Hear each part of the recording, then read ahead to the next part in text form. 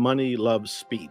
What that means is that it's a law of money that when you have an idea to do something, you have to act on it as fast as humanly possible because acting on it has an energy to it that helps attract more money. I was in the movie The Secret, and in the movie, I said, The universe loves speed. Now, whatever you think the universe is, the divine, the cosmos, the energy field, it loves speed.